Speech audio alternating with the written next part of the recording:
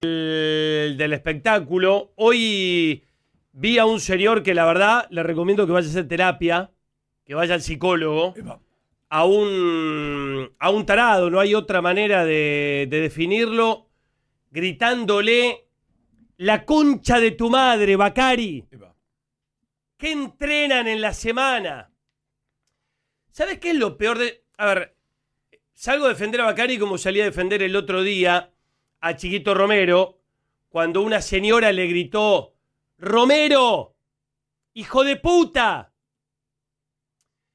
Lo peor, lo peor es que hay muchos colegas que le hicieron creer a los hinchas, a estos enfermos que tienen derecho, que tienen derecho a decirle HDP, la C de tu madre, ladrón, a cualquier jugador o a cualquier entrenador o a cualquier dirigente y a nosotros también, por nosotros también nos putean en la cancha, solamente por ser hincha, por esa, esa máxima falsa, pero falsa de falsedad absoluta, falsa de falsedad absoluta que dice que el hincha es lo más sano. Sí, hay hinchas que sí, que son, hay hinchas que realmente son lo más sano del fútbol, el tipo que por ahí viaja 800, 1000, 1200 kilómetros para ver a sus colores a cualquiera, ¿eh? Puede ser a Boca, a River, a Independiente, a Vélez, a Racing, a San Lorenzo. Esos tipos sí son lo más sano del fútbol. Ahora, hay otra gente que es un reflejo de la sociedad, porque la enfermedad que se ve en la cancha se ve en un semáforo. También cuando parás a, no sé, parás, parás a una esquina, ¿sí? Y, la gente te empieza a insultar porque está loca, ¿sí? Simplemente porque, porque está loca.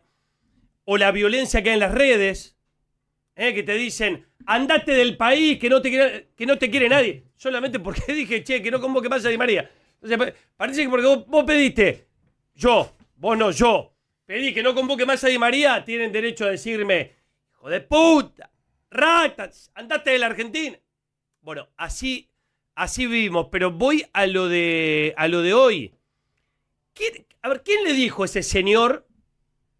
¿Ah, ya está enganchado? Sí, sí, sí. ¿Quién le dijo a ese señor que tiene derecho a insultar a Bacari? ¿Quién le dijo? ¿Pero desde qué lugar? ¿Desde qué lugar? Y mira que no lo conozco a Bacari. No hablé nunca en mi vida con Bacari. Pero me parece un tipo. A ver, más o menos uno de. yo sé 30 años que laburo de periodista. Me parece que tiene pinta de ser un tipo sano, eh, laburador, que quiere sacar adelante Independiente. Con 10 le empató a Racing, con 10 le empató a River. Está haciendo lo mejor. Después perdió con Vélez porque Vélez es mejor. Claro.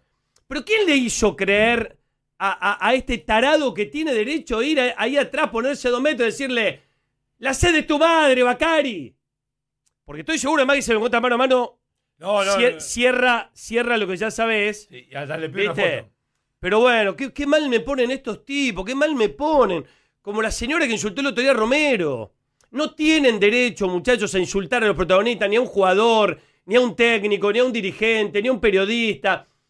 ¿Quieren demostrar que son hinchas? Alienten a su equipo. Alienten. ¿No les gusta? Obviamente podés silbar. Podés no ir nunca más a la cancha y nos haces un bien a todos. ¿Por qué te dio derecho a insultar a un tipo que está laburando y que, y que da lo mejor de él? A veces no le alcanza. Nosotros también damos lo mejor para ser el mejor programa de radio del mundo. A veces nos sale bueno, a veces no nos alcanza, pero, pero por ahí porque, porque, porque no nos da, no porque este, vamos para atrás o, u otra cosa. Bueno, em, ¿está José Luis Chilaver, Walter? Está, Qué placer, qué honor. Hola, Chila querido, queríamos abrir con vos para hacerle un homenaje a Vélez, a este gran Vélez. Hola, Chila. Ramírez. Bueno, yo te digo una cosa, obviamente que, me he equivocado muchas veces, pero no voy a cambiar mi manera de ser. El otro día a los 10 minutos dije en el comentario, Cavani no está para jugar y Cavani no estaba para jugar. Obviamente que corrí el riesgo que Cavani empuje una pelota, meta el gol y obviamente me, me iban a liquidar. Pero yo digo, digo lo que siento. A mí me da toda la impresión que mañana es el último partido de Martínez. Porque este equipo que arma Martínez habla mucho más mal de Martínez que de los jugadores. Primero, sigue cometiendo el mismo error de dejar al mejor delantero que tiene hoy a Milton Jiménez en el banco. Porque no se anima a sacar a Cavani, o porque le dicen que Cavani tiene que jugar, o porque Cavani le pide jugar y no se anima a decirle que vaya al banco o porque no se anima a sacar a Merentiel. Porque si para él hoy Figal y Anselmino están mejor que Rojo, Martínez no puede explicarme por qué contra pu- lo puso a Rojo. Si hoy para él Barinaga está mejor que Advíncula, tampoco puede explicarme por qué jugó Advíncula el sábado pasado contra River. No, para ahí Sí. está lesionado, ¿eh? Advíncula. Ahí está lesionado. El peruano. Bueno, pero, Para mí el peruano pero se lesiona- Antes del partido también Para mí se termina lesionando en esa jugada que Pero lo, no, no picó lo ni, pasa pero Borja. no picó ni una vez. Pero No lo- está- para mí porque no- por River, No ¿eh? estaba para jugar, no picó Para no- mí lo tapó River no a los picó- dos. Bueno, para mí no. No, Lautaro Blanco sí fue para adelante. Y fue el mejor de Boca en el primer tiempo. Este equipo, este equipo, ahora aparece Delgado, ahora aparece. eh, ¿Quién es el representante de Delgado? Be- Belmonte. El Monte. ¿Quién es el representante de Delgado? Ya te digo quién es. ¿Pero qué, qué tiene que ver? Decirlo, Pipi, pero. ¿Qué tiene que ver? Volodnikov es el prese- representante de Delgado. ¿Te llama la atención o no? ¿Pero vos crees lo pone porque lo representa Ah? Daniel Bolonikov, cierto. No sé, pero pone. Bueno, está bien, Ah, no. por ahí, por ahí lo pone Mirá por ahí. que, mirá que el otro día Boca se prendía fuego, que tenía que tratar de empatar el partido y entró Delgado en Boca. ¿eh? Bueno, por ahí, por ahí lo pone por eso, pero yo te digo, a mí me da toda la impresión que mañana es el último partido, porque con este equipo, ¿a dónde va a ir con este equipo? ¿A dónde va a ir? Figal, la verdad, los últimos partidos que jugó fue flojísimo.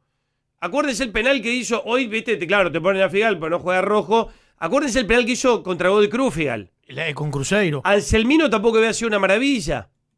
Bueno, Barinaga jugó su segundo partido. El pibe Milton Delgado, a mí me gusta, más allá que lo represente el, Eh, el representante de Riquelme, a mí me gusta cómo juega. Belmonte no da pie con bola. Merentiel el otro día no tocó la pelota contra River, es titular. Y el que cambió el partido, Jiménez, sigue en el banco. Y el que no tocó una pelota, Cavani, vuelve a ser titular. O sea, la verdad, creo que, que Martínez hace todo para, para que mañana sea su último partido en Boca. Eso es lo que yo siento. Por ahí mañana Boca gana 3 a 0, es una maravilla.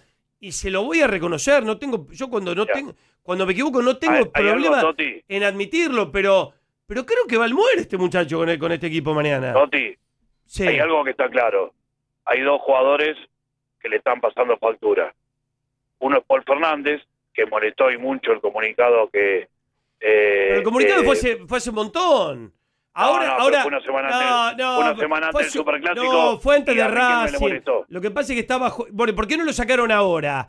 Aprovechan que tuvo un mal partido Bueno. contra River y lo, y lo mandan a la parrilla. Como hace, con, como hace Chiquito Romero. Do- dos errores, uno con Racing, uno con River, lo mandan a la parrilla, dos partidos de suspensión.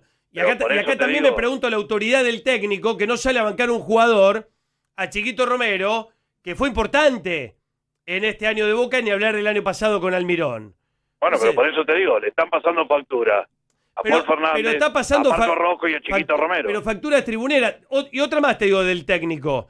¿Cómo hace, a ver, cómo explica Martínez que Rojo pasa de ser capitán contra River a, a ni siquiera ir al banco contra Belgrano? No tiene explicación posible. No, No, tiene, no. no tiene Mira, explicación si yo se lo posible. pregun- si Lo- lo- si yo se eh, lo pregunto, si yo se lo pregunto a Diego Martínez. Si yo se lo Va a decir que está lesionado. va a decir que está lesionado, tal cual. Pero todos sabemos que no está lesionado Rojo. Y Se no va a Inter de Miami. médico. Rojo va a jugar Inter de Miami. Ya no Otro, tiene- pará, otro más Bueno, al Inter si, de Miami. si va al Inter de Miami, ahí sí se confirma lo que llevó que es el showball. Porque la verdad, no, o sea, no para nadie, Marcos. A mí yo siempre fui un defensor de Rojo, me encantó, pero hoy por hoy la única manera que tiene para un jugador es pegándole. Pegándole. Bueno, pero Ahora, más en allá, este caso- más allá Pero en de- este caso del le da la- nivel. la, derecha al técnico. No, que no lo porque, porque lo puso capitán contra River, ¿entendés? Es, un- es una es payasada. Es una payasada lo que hace Martínez. Contra, River, contra River lo pone de capitán y contra Belgrano no lo lleva ni al banco. ¿Cómo un jugador pasa de ser el mejor a no ser ni siquiera el número 20?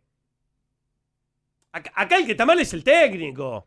O sea, la, la verdad, la verdad, es como que yo, este, mm, el, el coconductor de este programa es el Guasón.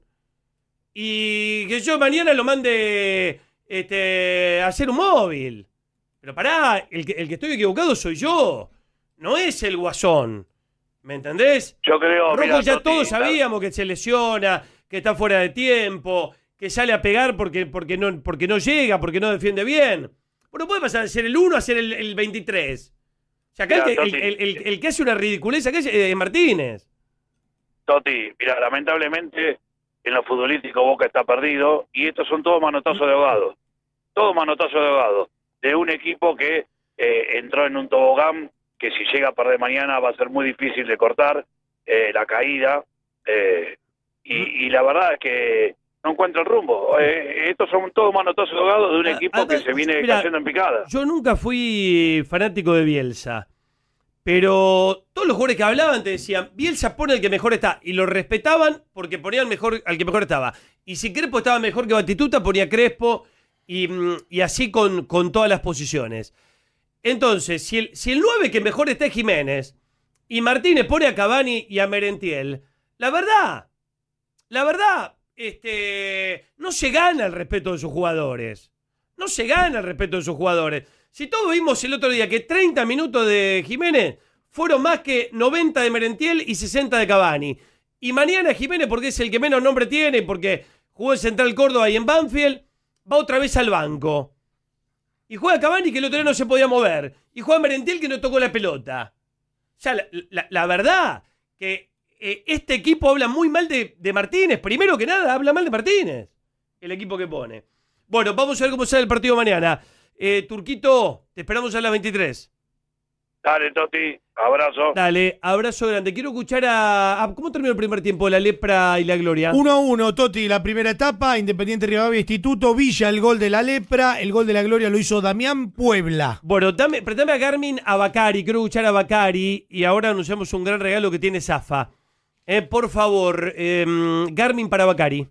¿Querés conocer lo mejor de Smartwatch? Pasá por los nuevos locales de Garmin en Unicenter y Nordelta y llévate lo último en tecnología para medir tu salud y deportes favoritos. Además podés comprar los 365 días del año en www.garmin.com.ar. Sumate.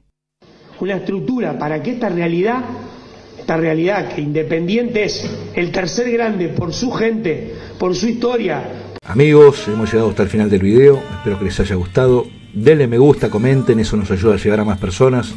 Es completamente gratis y como siempre, agradecerle a todas las personas que siempre están ayudando al canal, desde Mercado Pago con lo que pueden. Les mando un fuerte abrazo a todos y nos vemos en el próximo video.